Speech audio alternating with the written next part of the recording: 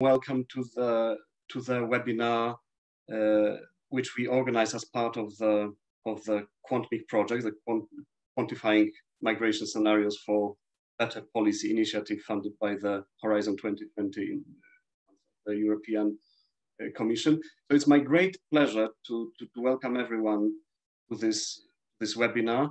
And we'll have a, a fantastic lineup of three, three speakers, three are team colleagues from, from QuantMIG, professors Jørgen Carling, uh, Mathias Czaika, and Marta Bivand Erdal will be talking about translating migration theory into empirical propositions.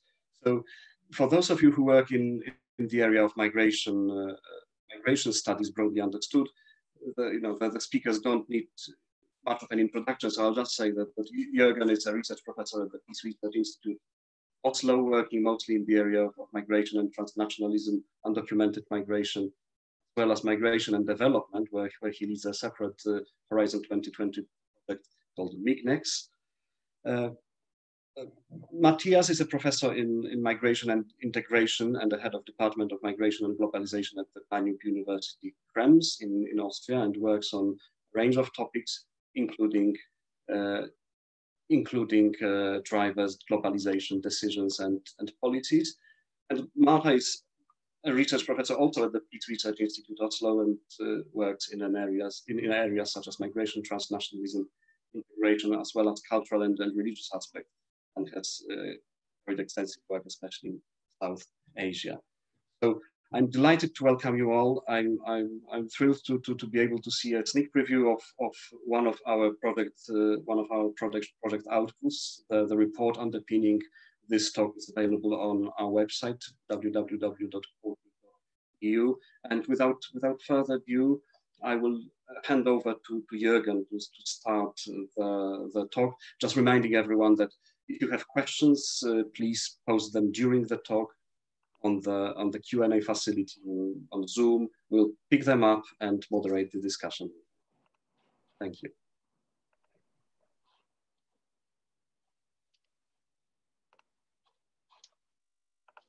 Thank you. So now you should be seeing the, um, the presentation. Um, so this paper that um, Mathias and Marta and I wrote together is called Translating Migration Theory into empirical propositions. And first, I will say a little bit about um, what we mean by that, what kind of thinking is behind this title. Um, and then I will talk about the first three propositions that we've put out there. And um, Marta will follow with the next batch, and Mathias will take the last batch and also say something uh, to conclude at the end. So um, the QuantMIG project uh, is essentially a big machine that we are building in this consortium with the aim of quantifying migration scenarios for better policy. So trying to say something meaningful about what might happen in the future in terms of migration and how to relate to the uncertainties of um, uh, of talking about and planning for migration in the future. Uh, and the idea is that this complex machinery will be fed with data. Um, and part of the data, or most of the data, is already existing in some form, but the machine itself is not. So now we are really in the process of building the machine. And this paper that we're presenting now is uh, part of that is going to uh, contribute one little component into this machine that will eventually give us these um, better answers in terms of um, migration scenarios for, um, well, we say for better policy because it's uh, that is indeed sort of the, the motivation behind this um, research funding.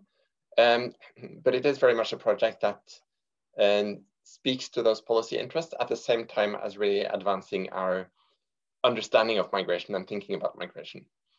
So see this paper uh, and several others in the early phases of the project as sort of the nuts and bolts that go into this bigger mission of the project.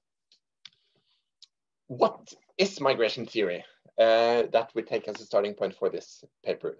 So the idea is that we uh, we all have a vague notion of what migration theory is, and we probably use it in different ways, but it is often not as explicit uh, in sort of the everyday work for those of us who do migration research as it is in um, textbooks and teaching on migration, where, for instance, many students would encounter theory chapters uh, that sort of account for theory one, theory two, theory three, as if there were distinct explanations for migration. Uh, or uh, some books and, and um, courses take more of a disciplinary approach, saying, for instance, that, well, migration is studied by historians, economists, political scientists, and they all have their different theories that they bring to the study of migration. And I don't think any of these two uh, descriptions really fit the way we use migration theory in uh, migration research today. Um, yes, we all come with our disciplinary backgrounds, and yes, there are different approaches, but there are not sort of neat compartments in the way that this slide suggests. The reality looks more like this, different elements of theoretical thought. Um, and it's all influenced very much by disciplinary background, by our methodological preferences, uh, by our interests. Um, for instance, coming to the study of migration with a specific interest in policy also does something with the theoretical perspectives that we apply. And um, perspectives also in terms of whether we, we are talking and researching from a country of origin perspective or a country of destination perspective, and indeed which region of the world. Um, and although migration theory is supposedly sort of at an abstract level beyond the specifics of different contexts, we know that all theory comes out of specific geographical contexts and is often colored by that. Um, and we, in this project, we do build on work that's been conducted in, in Europe, uh, much of it, and we talk uh, to a policy interest that's linked to migration to Europe. Um, but uh, we take we take a broader view in the sense that explanations for that migration also lies elsewhere, and that many of the questions we want to address ought to be addressed um, in a way that isn't so colored by um, the regional origins of the authors. So in this kind of mixed landscape, how do we then take the step from migration theory to empirical research? Because much of the theory that's out there is not um, really in the form of um, falsifiable theoretical statements, but rather um, suggestions for how we might approach explanations. And the explanations that we seek uh, when we talk about migration theory in this paper are aspects of migration, such as why does migration occur, who migrates and who stays, what are the spatial and temporal patterns of migration, and how does migration self-perpetuate. Those are sort of the migration elements of migration theory. Um, and as you will see, uh, we're not going into basically everything that happens after migration in the sense of um, integration processes, sustained transnational practices, and so on. So migration theory and the narrow sense of explaining migration itself. Now, the theory part of it um, is actually quite diverse. Um, there are elements of migration theory that are theories in the narrow sense of um, statements about uh, the world that can directly um, be formulated into predictions about what should happen under specific circumstances, and which can then also be confronted with empirical uh, evidence and perhaps rejected. Um, but a lot of the theoretical um, work that's out there in migration studies is not of such a nature that the theory itself can be rejected. Um, so just to take one example, the transnational turn in the study of migration has been hugely important in, in theory and transnational perspectives open up for different ways of seeing and understanding and interpreting migration, but it's not fruitful to sort of set out to, to prove or disprove uh, transnationalism as a as a theory. That's not what it's about. It's an enlightening theoretical contribution. And uh, that type of contribution, as well as the more sort of traditional um, falsifiable theories, can be used as foundations for um, empirical propositions or propositions for empirical research. So that's what we're doing in this paper. We've picked out 10 areas where we think that on the basis of this relatively uh, fragmented and messy field of living migration theory, we can say something about what we expect to be the case empirically. Um, some of these propositions we are quite convinced are true. Um, others are indeed very much open to debate and open to empirical confrontation, some of which will take part in the context of QuantMig. So the propositions are indeed uh, inspired by these four questions that have to do with migration and open to different types of theory. Here's the first one. Emigration rises with economic development until a certain level and thereafter falls. So this is uh, a statement, a proposition that is uh, of an empirical nature so that you can, it describes what we uh, may see or not out there in the real world. Um, and it's a nice one to start with because it's one of the one of the relatively few that is so clear and has really been the subject of empirically based um, debate and disagreement in migration research in recent years. Sometimes this, um, this proposition is referred to as the migration hump because of the shape of the curve. It rises and then it falls. Um, and the, the, short version of it is that um, for most countries of the world where the income level is not yet at this certain level, more development, economic development, means more migration. And that's um, counterintuitive in the sense that you would expect that when people's lives get better, they get less inclined to leave and seek a better life elsewhere. But then theory tells us that there are many good reasons why uh, the opposite is true, that when people's lives improve, their aspirations improve uh, or rise even more in the sense that their sense of what is a reasonable standard of living, for instance, rises more quickly than their actual standard of living. And their awareness of the possibilities that exist elsewhere also rise more quickly with the consequence that more people actually leave. Uh, it's also a policy relevant uh, proposition in the sense that um, policymakers are uh, debating how to approach the problem of um, migration that is unwanted by the destination countries and sought to be reduced by the destination countries.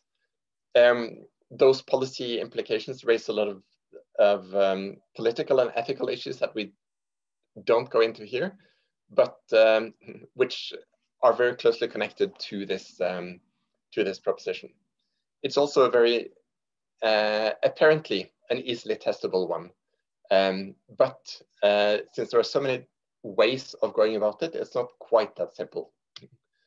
It um, has been uh, confirmed very emphatically and convincingly uh, in recent research, primarily by Michael Clemens, who has this nice empirical figure that sort of mirrors the theoretical model. Um, but which I think also illustrates the complexity of trying to arrive at a simple yes or no um, in response to this proposition. Because development can be approached in a much broader sense than just economic development, what are the implications of doing that? And there are different scales of analysis, time scales, regional scales. Um, how is this different when we look at individuals whose lives improves, whereas when we look at countries where the average is improved, for instance. The next proposition uh, is that migrants, the people who actually have left their country of birth, are outnumbered by involuntary non-migrants, which are the people who would like to move but are still in their country of origin, very often because immigration restrictions prevent them from going. So this is founded on the on the what I've worked on um, for many years about the separation of aspirations to migrate and the ability to do so, and that many people have only the aspiration and not the ability. So the best numbers that exist today suggest that just over 3% of the global population are migrants, and another 15% say that they would actually prefer to move permanently to another country um, if they had the opportunity, but they don't. And then the remaining 82% are people who are happy to remain where they are. This has some important implications for uh, migration processes, for migration policy, for what determines the actual migration flows that we observe and how that might be possible to affect through policy.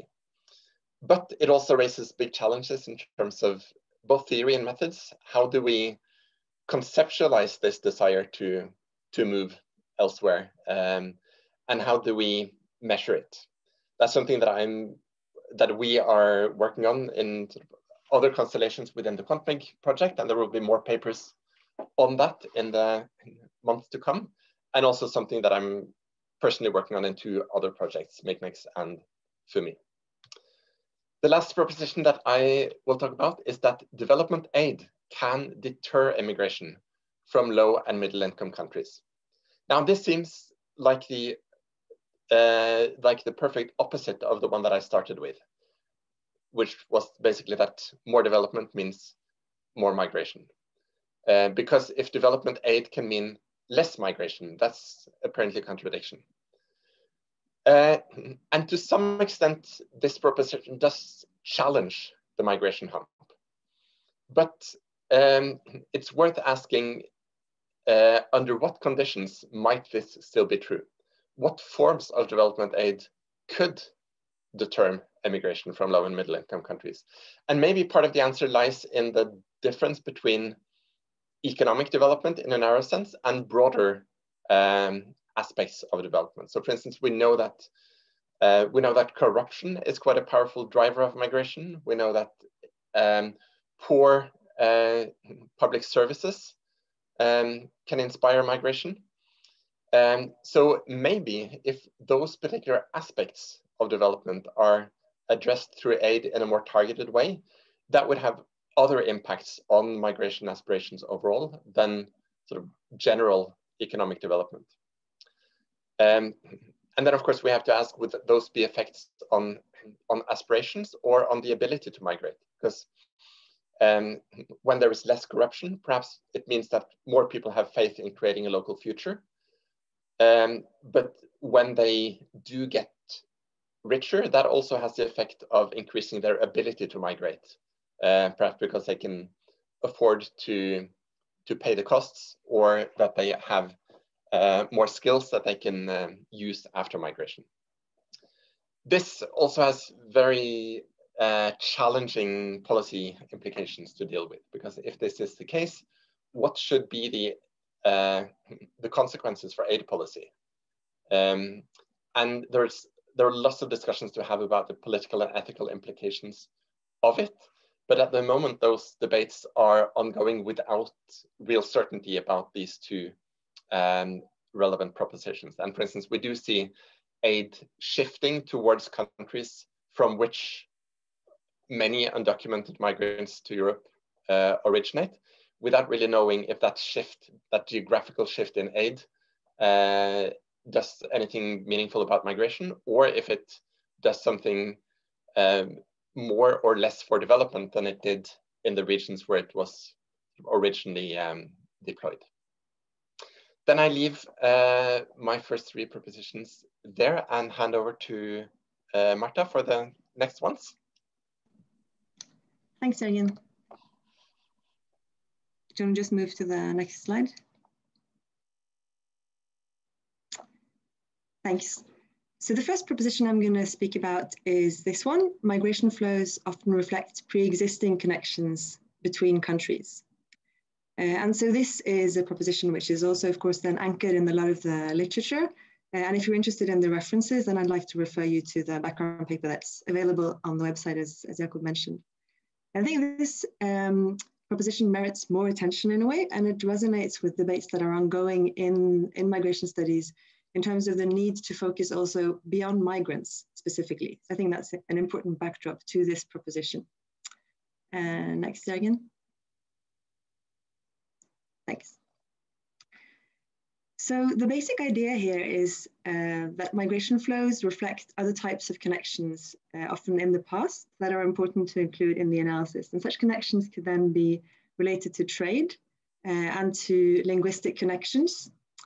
Um, these linguistic connections could perhaps be linked also to the fact that countries are close to each other uh, and that many borders are actually not so old. So specifically thinking about the European context, we know that there's been a huge amount of border movement within the European continent uh, within the past century. This is of course not limited to Europe, right? We know about the colonial history, uh, not least in Africa.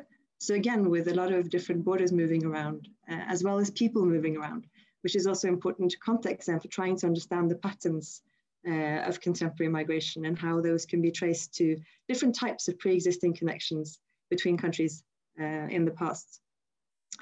There are also some, some important aspects that have to do with um, uh, trade, perhaps also historically. And also again, then if we look beyond the European context, there are interesting Chinese examples. I'm sure there are interesting Chinese examples also in the very contemporary context. But thinking a little bit uh, into the past actually as well, there's a lot of examples of sort of Chinese trade historically um, being directly traceable then to the movements of people uh, and where they settled. And so then understanding the migration patterns without seeing those trade connections doesn't really make much sense.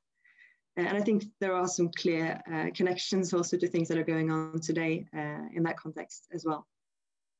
And there's also uh, an aspect here that has to do with sort of uh, connecting these different things that have to do with migration patterns and, and completely other aspects of connections between countries that might have to do with trade, but also with other things. Uh, that is quite well covered, I think, also thinking about this through the term uh, human geopolitics, which Alan Gamlen has written about. Uh, so really thinking perhaps through the example then of diaspora strategies, but it doesn't have to be only that, in terms of how uh, different types of connections are important to understand these uh, migration patterns. Uh, and so here it's important to, to focus methodologically not only on uh, remembering that the present is very much shaped by the past, which I think in migration studies we we very often forget that there's a past and there's a past beyond the last two decades even that we need to be thinking about to understand what's going on. Um, but also again, this, uh, this call to focus not just on migrants in migration studies. Next one, please. The second proposition I wanted to discuss um, is the one which we've labeled migration flows beyond uh, a certain threshold become self-sustaining. And as Jørgen mentioned, this is kind of a, a key idea in, in a sense in migration studies as well. Next, please. So here we have uh, a number of, of, terms that have been very much discussed in migration studies, both at the theoretical level and certainly at the empirical level. I think there are sort of uh, core cases that everyone in migration studies knows in terms of um, these ideas of chain migration and social networks, and not least uh, migration from Mexico to the US would be mentioned very often there. I think very often we'd also refer to, to the case of migration from Turkey to Germany, also as examples of kind of chain migration and the roles of social networks in, indeed, in then um, making migration uh, self-sustaining, at least above a certain threshold. Um, I think here it's important also to think about the ways in which perhaps different types um, uh, of migration corridors and different ways of approaching pioneers uh, may also matter and, and, affect how we understand this. Uh, there are different ways of approaching this in, in terms of different cases. Uh, and I think this is a, a, an empirical proposition where it would be interesting to really think creatively about which kinds of ideas we might have uh, in terms of, of testing it. And also perhaps how ideas about which, which types of migrants we are thinking of. Is it lab, labor migration that we assume is male, for instance, that is dominating our theorization here? are we thinking about female labor migrants to the same extent here or, or not, uh, is important to discuss. I think also there are important um, cases of post-EU accession migration here, which uh, are probably very useful to think of here. And perhaps uh, as very relevant in the UK context right now, what, what about Brexit in this context uh, in terms of, uh, you know, threshold up to a certain level or a certain time or in, uh, in certain circumstances, but what happens next then? Does that migration then stop? Do people return? uh, what was going to happen next. I think there's some interesting research that could be done there as well. And here, of course, uh, institutions and networks matter a lot. Uh, and there's been a lot of interesting work recently on migration industries, migration infrastructures, and again, kind of thinking maybe beyond the migrants and the migrant social networks, also in terms of how these migration flows beyond a certain threshold become self-sustaining or not, and for how long. Next, please. Thanks. So the third proposition that I wanted to speak about uh, is the one we've labeled migrants with fewer resources make more fragmented, convoluted, and unpredictable journeys. Next, please. I think this is a proposition where there's a lot of uh, emerging work, and I think there's a lot of kind of disconnected work uh, in terms of different cases as well, which makes it quite exciting to, to put forward as a proposition. And perhaps in the comments and questions section, there might be ideas about how to follow up on this or whether people uh, agree that it actually makes sense as a proposition as well, which would be in interesting to hear about. So this question, uh, this proposition really speaks to this um, need not only to focus on why people migrate and where they migrate, but actually how. How does this migration come about? How is it possible or, or impossible? So let's say a step, a step beyond from what Jørgen was speaking about people who have aspirations but can't move, uh, to the ones who maybe have aspirations and, and are able to move to some extent, uh, but they have to actually split up their journey in different parts to actually uh, be able to, to move it all, rather than thinking of moving to specific destinations straight away. Uh, so one of the inspirations for this empirical proposition is uh, Nick Van Hear's paper titled, I Went As Far As My Money Would Take Me, which I think in a way uh, summarizes it quite well. Uh, and I think also here it's, it's interesting to think about different types of migration drivers and journey fragmentation. Uh, and perhaps also suggest, suggesting that uh, while we might see that migration drivers can be quite different, for instance, in relation to the roles of conflict or, or climate change, or more sort of economic hopelessness as different types of drivers. Uh, probably in terms of the ways and the nature in which journeys are fragmented, which kinds of drivers are the most salient for particular migrants are not so significant. So I think it's an interesting area also to, to look at from that uh, perspective to see in, how far it holds and for whom and when, I guess. Um, also interesting examples to draw on here, which perhaps we, we don't necessarily mix or combine so much, especially not in theorization in migration studies, uh, are student migrants. So in terms of thinking about resources and complex migration trajectories, uh, student migration as a sort of huge migration flow that very often is studied separately is interesting to think about. Uh, and the ways in which uh, access to student programs for students from very different origin countries uh, leads perhaps to uh, a migration trajectory, which maybe starts with a student program and then maybe ends with something completely different, perhaps in a completely different location. So I think that's a, an interesting opportunity perhaps to pursue to be able to test this as well. But also perhaps thinking in terms of internal migration and thinking about both men and women migrating internally, perhaps from rural to urban areas, as well as uh, in terms of these fragmented journeys that might end up becoming international migration, although they don't have to, they could be fragmented internal journeys um, as well. So here the resources and accessible migration pathways are actually a sort of keyword as well. And I think again, that connects very well to very policy relevant discussions that are being had at the moment as well in terms of what accessible migration pathways are there actually and which types of resources do people have to be able to have to access those pathways. So for whom are they, they accessible in a sense? Thanks, I'll pass on to Mathias then.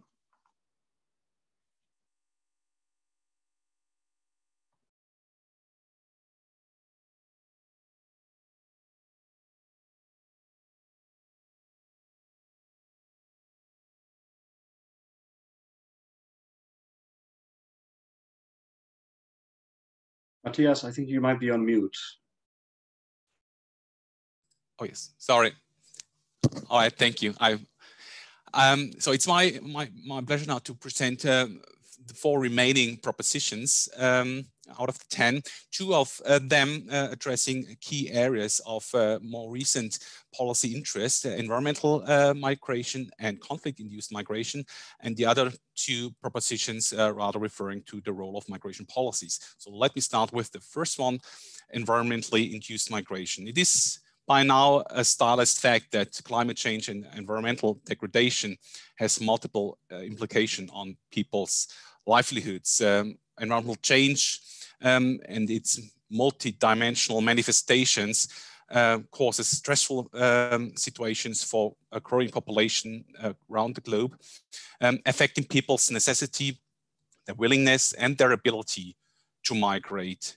But what we find um, by uh, reading the literature is also that um, climate change is mostly a predisposing driver that affects migration rather indirectly through, for example, channels like um, uh, economic implications, for example, in terms of agricultural productivities and incomes or more broader livelihood opportunities, um, rather than directly. Um, what we also find is that environmental stress affects the poorest most severely, um, and that increases actually their ability to move. Um, what we find is that migration as an adaptation strategy is therefore not available for a growing population that is trapped in vulnerable uh, situations. And that refers to uh, actually the, uh, the proposition that uh, Jørgen has uh, referred to, actually this growing um, number of people that are involuntary immobile. So what we find basically as part of this proposition that emphasizes the separation of a population into a trapped part and to, into a mobilized part as a kind of a bifurcation of mobility patterns. So part of, um, uh, of those affected by environmental degradations are trapped into such vulnerable situations, whereas another uh, uh, um, part or fraction of these uh, vulnerable populations is actually able to move um, either internally or internationally. Next one, please. The second proposition refers to um, violence and uh, violations of uh, human rights and conflicts in, in a broader sense, which is uh, um, known as key drivers of involuntary migration. What we um, presume in this proposition is that um, these factors triggers people's um, aspirations to, to, to leave conflict affected areas um, but not, in, uh, not immediately, but rather uh, once a certain insecurity um, or risk for life uh, level is surpassed, uh, kind of a tolerance level. And then uh, when a certain uh, kind of conflict uh, intensity, uh, uh um, you know, triggers a, a, tipping point, then larger scale immigration processes are induced and immigration turns into a sort of survival strategy. However, not all forms of violent conflicts uh, trigger large-scale uh, displacements. Uh, and here we can uh, look into more recent uh, uh, conflicts, like in Syria, Eritrea, um, and other places where conflicts have triggered very different types and forms and in particular intensities of out-migration. Displacement patterns are the result, what we find, of a complex mix of conflict exposure, risk perceptions, individual risk perceptions, and people's uh, resource endowments that would basically enable them or uh, disable them uh, to leave a conflicting uh, context. What's also relevant here is to emphasize that conflict um, not only trigger out migration directly, but also through their indirect uh, effects on um, on resources, on livelihoods, on in public infrastructure, and other factors that might indirectly trigger out migration propensities and actual behavior. What's also relevant to mention here as part of this proposition is um, that um, most conflict-induced migration is rather short distance um, and only develops into longer distance moves for parts of those who have moved initially uh, um, in, in, the, in, the, in the longer term. So secondary movements, onward migration after having um, moved to a first place of security, protection, or asylum, whatever um, um you may call it, um, are um, then more long, longer distance, are more economically motivated compared to the initial survival moves. Next one, please. So let me come to the last two propositions that refer uh, to the role of migration policies. The first one is migration policies are largely ineffective in producing desired outcomes. I mean, this is a proposition that the policymakers probably don't like that much. Um, and I think also the migration research community is not really contesting that migration policy has some effects. however, uh, what the literature finds so far that policies restrictions and policy incentives, so not only deterrence policies, but also attracting uh, and recruitment policies, for example, create opportunity structures. But how these opportunity structures actually shape the volume and the composition and the dynamic and the direction, and also in the end, the legality of flows, um, that's still rather contested. And the empirical um, evidence on those questions is relatively thin so far. Why? Mostly for methodological reasons. It refers a lot to the definition of migration policy. Um, the question whether what type of my policy, migration policy is investigated, whether very specific sector policy or broader policy regimes, um, but also with, uh, with regard to the operationalization of migration policies. So there, uh, uh, a lot of more conceptual work has to be done when it comes to the actual effects of migration policies, um, the effectiveness depends a lot on how we measure policy outcomes and migration outcomes in the longitudinal perspective. So uh, taking into account time lags, um, for example, but also taking into account feedback uh, effects of uh, migration outcomes on policy uh, making um, is, is ob obviously um, a methodological challenge in, in this specific area. And uh, lastly, um, migration policies are obviously a, uh, just one element in a broader immigration package and a part of a broader driver complex. Next, please. So the last proposition uh, is linked to the previous one, and it says migration restrictions affect migration flows in unintended ways. Um, migration policy interventions often, not always, but often produce politically and ethically unwanted migration outcomes. Uh, this can be called policy externalities or side effects, um, and these side effects often limit um, or obscure the realization of migration policy objectives. What are these side effects? We we know, and there is uh, there's research on this and uh, some conceptualization also of my uh, former colleague Hein de Haas, um, referring to spatial diversion, so spatial deflection effect. So migrants moving to other destinations once a destination becomes more restrictive, for example, um, or the categorical deflection. So migrants changing legal categories um, um, as a response to um, uh, changing migration policies in, on a particular uh, uh, type of migration. There are temporal shifts. So migrants can pre or postpone their move as a response to changing migration policies. And of course, uh, also the question, how do policy asymmetries uh, affect migration uh, flow. So it's it's it's hypothesized that uh, policy changes in, in different directions do not create, uh, uh, you know, some, some of similar effects.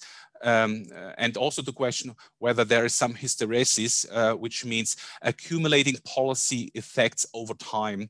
These are aspects that are largely uh, um, affecting you know, the, the, the, the, effectiveness of policy, but also the measurement of, of migration policy effects.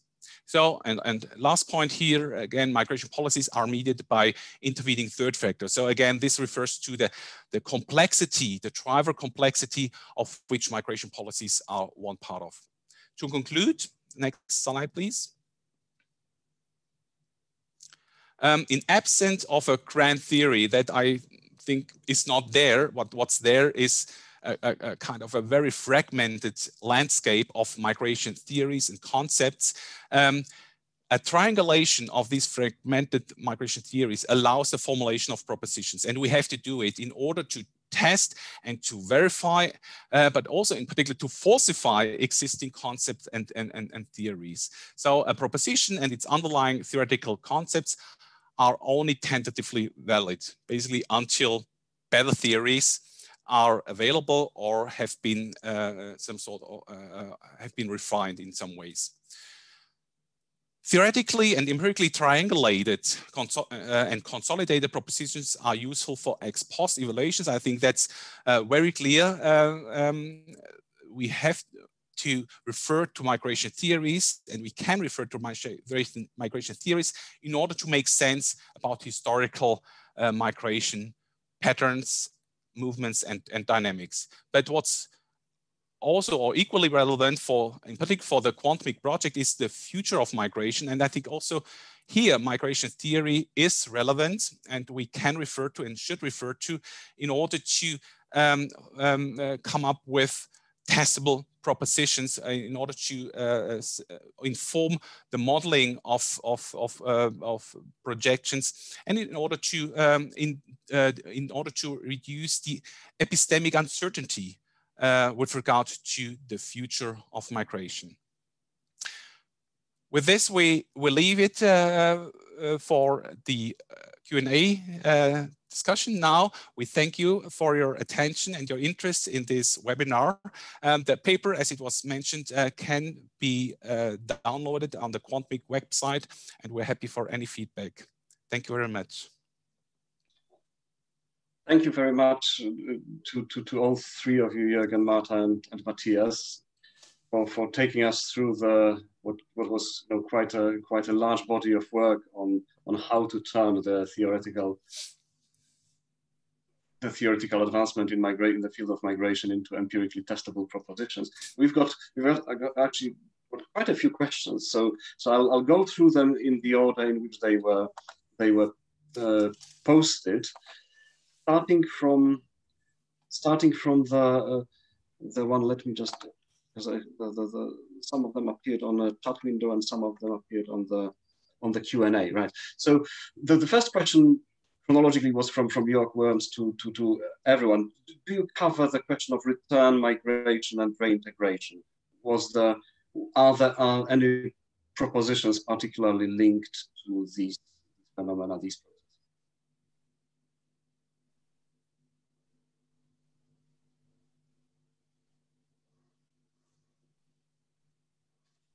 was I, th I, think it was it was uh, it was asked during Jørgen's Jørgen's part of the of the talk. I, I may I may pick, on, pick up on you, Jørgen. Yeah. Uh,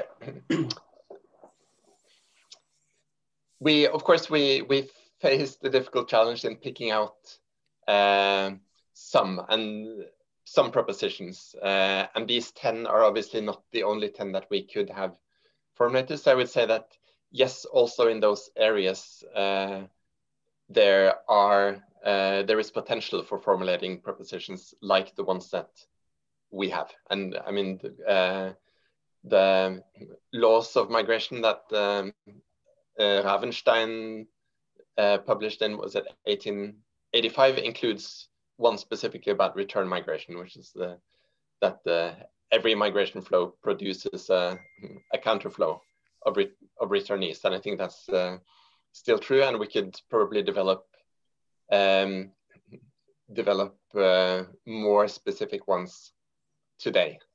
Um, one that I that Marta and I have both been interested in, which I think is important, is that the uh, return visits uh, are an important um, um impetus for for return migration, that there's a clear empirical relationship there that also has a lot to do with with the with the processes at work. So I mean that's quite at quite a specific level. Um, but uh, yeah, in short, we could have picked other ones, and it's uh, certainly possible to pursue the same um, approach also in in terms of return and and possibly circulation. I, th I, think I think I, I, I can add from the from the general project point of view that you know in in the project per se, I mean broadly, we will be looking at all directions of flow. So into the focus is on Europe, but but we'll we'll be looking at, at flows into, out of, and within Europe, so between European countries, without without uh, putting more emphasis on one one one flow versus versus the other. So so so in a sense that at the empirical level, at the scenario setting level, the return flows and the counter flows will get exactly the same level of prominence. It's just the as as, you, as Jørgen has said, the, the the, the choice of the empirically testable uh, propositions linking to the existing theories was uh, was what was driving the the selection that you have been uh, hearing today. There was if another may, question. If I may, if I may yeah, add, I think also the, the proposition with the fragmented journeys has a very uh, unclear mm-hmm. boundary to return mobilities, right? And I think it's a definitional issue as well. You know, when, when does a migration journey stop, right? Is it a, a perpetual process? Are people just mobile forever? Do they settle down? And do they settle down for how long? We know if you ask people, you know, are you never going to return ever, ever? Very few people say, I'm never going to return ever, ever. So I think it's also a bit of a definitional question there in that sense. But I also agree there are many, uh, many empirical propositions that could be developed, I think, specifically relating to return and return mobilities. And I think it might be interesting to think about propositions that tackle integration and reintegration, perhaps in similar ways as well, because we know there are many similarities uh, that connect how people experience integration in, in a first, second, or third country uh, that they travel to, uh, and how they might experience reintegration in a country of origin after a long time as well. So I think it's a, it's a good question, and, and probably other people here could pick up that challenge as well. And I mean, we, we had a quick, quick technical question to, to, to Jørgen, which was already answered about the, the asp quantifying aspirations for migration, which you answered on the Q&A. Uh, find that that we do that by looking at the Gallup World World Poll figures, and that's that's that's exactly the source. So linking to the return migration, there was a there was a question about uh, about the is the framework for returning sex differences in the types of migration and with specifically with referring to Ravenstein's laws and, and Ravenstein's laws also do do imply counterflows and look into uh, into uh, return migration.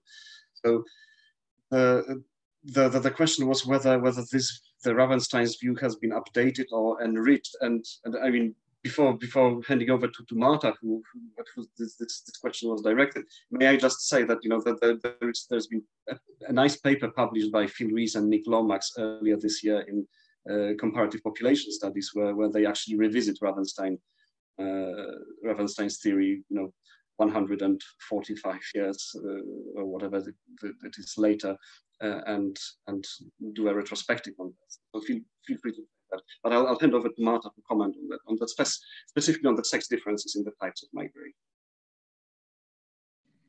I guess I can try and at least comment on that. I think the, the question whether we need uh, sort of new theorization after Ravenstein, I think is very pertinent. But thankfully, we do have some of that, right? So I think a lot of work has been done, and a lot of work has been done also on on female migration specifically, on male migration specifically, on other gender dimensions of, of migration. But I do think there's there's a need to sort of push how we think about theorization further, building on those other empirical examples that we have. So when we talk about labor migration, which kinds of images does that sort of conjure in our minds? Do we think about nurses or do we think about construction workers? Uh, and I think there's, you know, there's, there's always more work to do there, I think also at the theoretical level. Uh, and I think probably uh, it's important there to also make sure that that's not, not also all based on European experiences or North American experiences, which is a continuous problem, I think. And I think rather than then sort of uh, reverting to our regional hubs, we should try and connect and see how we can build theorization that hopefully can be uh, shedding light on and helping explain things that go on in very different contexts. I think that should be the ultimate test of whether it's good theorization or, or a bit poor. Yeah, so uh, there was a, the, thanks for that. And there was a later question, you know, is, is, the, is the project or is your work specifically about about the south to north migration? So I hope we've, we've answered that. I mean, it's, it's, I mean, it takes a European focus, but but it looks at, at, at all different different directions and different, flows. Then, then we had a comment from, from Rainer Münz about, uh, actually again to, to Marta's part, to the, the one about migration flows becoming self-sustained. So, so, so Rainer commented that his guess is that the migration regime is also what influences the degree to which migration flow become self-sustained. So, so I, you know, I guess that the, the, the, legal framework and, and everything that comes with it. Can you, Marta, can you perhaps comment a, a bit on that? Yes, uh, I think it's a good question. I guess Mathias and Jørgen might want to add as well. Um, well, yes, of course, I think it does. Uh, at the same time, I think there are a couple of other questions also that I noticed that, you know, they refer to, um, you know, illegal migration. Uh, and I think, you know, we, we need to question also how we refer to these things. So what is it that makes migration illegal, right? Uh, that would be the regimes, not the migrants, surely. Um, so I think there's something about how we approach this analytically as well in terms of uh, what we think is, is the most significant. But, but yes, of course, the ways in which states manage their borders and which types of programs there are for people to get uh, work permits, etc. Those things we know uh, are going to be super important. And again, bringing up the EU post-EU accession migration, I think is a really good example of, of actually seeing how that plays out. And we see that many other places as well, including actually in terms of migration from third countries to European Union countries, uh, which is not necessarily promoted. but for instance, in terms of, of, Poland, which receives a huge number of engineers from India every year, also in recent years, which is not uh, you know, publicly discussed so much necessarily. Uh, but that shows how regimes really, really matter and can maybe shape flows uh, in very different types, uh, types of ways, I think. Mm. Thanks, and, and in a sense that that, that that, speaks to globalization as well. And you know, we had a comment from from Omran about you know an example of France and North Africa being very relevant, colonial links and and and proximity and language ties and and everything else. And it, it plays nicely to, to, the you know both the world systems theory and and uh, the, the, the, migration systems theory. But but there is there is the point that you made, Marta, that that these things are dynamic and they they they, they also change, and you can, you can have policy regime shaping uh, shaping quite a lot of the flow. Um, there was there was another question. I think that it was already to Mathias's part from Sarah Johnson. Do you have ideas about which, which, data sources can be used for the proposition that environmental stress creates bifurcation in mobility patterns? How can we test it? I, I mean, a lot of research that is uh, currently going on um, um, across various projects um, obviously uh, focuses a lot on, on, on the micro level, on, on using survey data, um, smaller scale surveys, but also large scale surveys. surveys. Um, um, I mean, um, you were referring to the MIGNEX project. Uh, yet Jørgen Carling is is, is, is leading here, for example, uh, we, we collect uh, um, micro level data, but also uh, data at, at, at, uh, at, the regional level um, in order to address, for example, the role of environmental change um, on, on, on migration. But other data sources um, obviously are more aggregate data. Uh, there's research uh, using macro level data um, um, at the regional or even at the country level uh, that tries to address um, and, and, identify uh, the, the role environmental change um, in its various manifestations and operationalizations uh, uh, drive and trigger um, out migration. I only refer here to work by Michel Beine and, and, and Chris Parsons, for example. Thanks. And and there was there was a question to, to, to all of all of you or all of us really how how can we account for for undocumented migration in empirical testing of positions given the known problems with measurement I can maybe start there, and I think that's something we maybe uh, could highlight even more, um, which has been important in working with this paper, uh, in that we've really tried to engage with both quantitative and qualitative uh, studies or studies based on those types of data. And I think, you know, obviously there's uh, a lot more that qualitative studies can offer in terms of actually doing research with undocumented migrants, uh, which is hard to capture in official registers, right? So I think uh, there's also sort of uh, some value added of trying to combine insights from qualitative work, perhaps especially there, uh, which I think, um, yeah, maybe is something we can take take into other discussions as well, where there are some gains to be had, I think, uh, from those things as well. Thanks. And and for for for Mathias, can you give an example of a triangulation approach? how would you triangulate? What what would you triangulate and how? Yeah, I, I mean we we we propose here basically both a, a theoretical triangulation as well as an empirical triangulation. So theoretical uh, triangulation obviously uh, refers to the combination of complementary concepts and ideas uh, in order to refer to to explain a, a certain migration phenomenon, right? Um, so usually, since many migration theories, if not all migration theories, are very contextual, um, they're not generally valid, but they have to be context they have to be contextualized, um, and and they're also limited um, in, in the way they, they uh, a particular migration theory can explain a, a certain phenomenon. Therefore, um, um, you know, various uh, uh, research.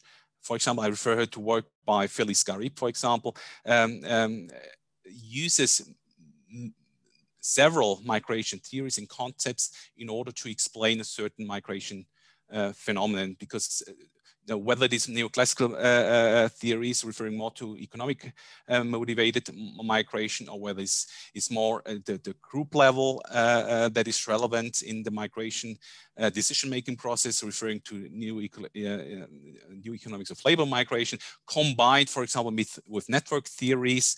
Um, obviously, all those theories have to be combined in order to explain broader migration patterns and dynamics.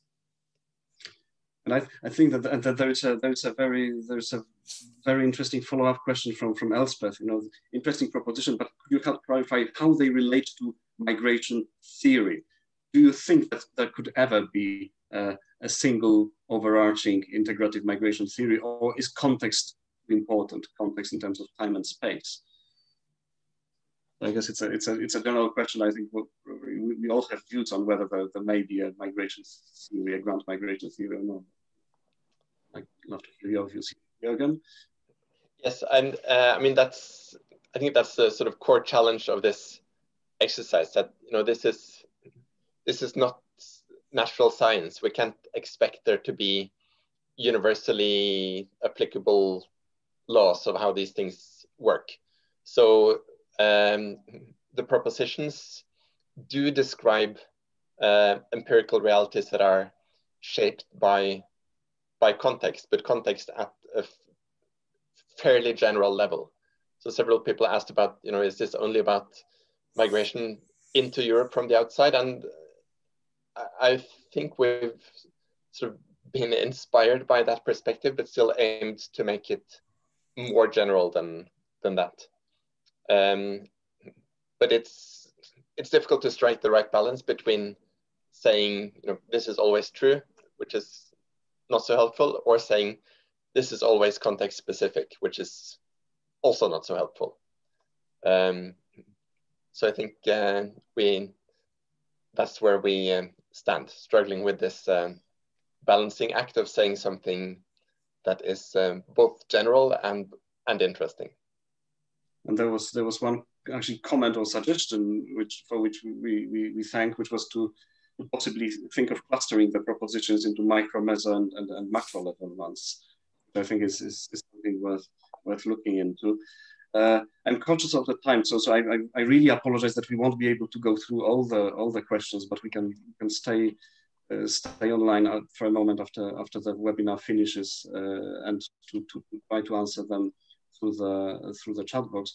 The, the, the, I, one question I wanted to pick up on because it, it links to the work that we have planned. How how can you work with National Statistical Institute on how to better develop estimates and quantify the types of migration you have mentioned? Actually, this is this is this is planned within the project. So so we we will be providing uh, as part of our output harmonized estimates of uh, within European and uh, migration as, as well as migration in, into and out of Europe from the main regions of origin and, and, and destination.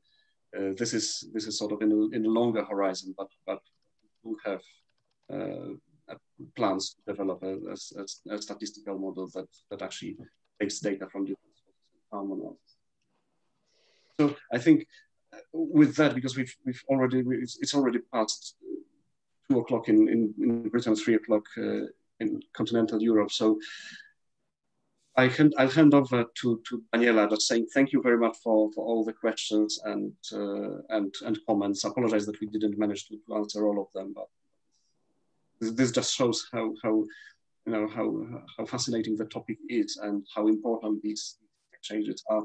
I'll, I'll hand over back to, to Daniela for, for the final.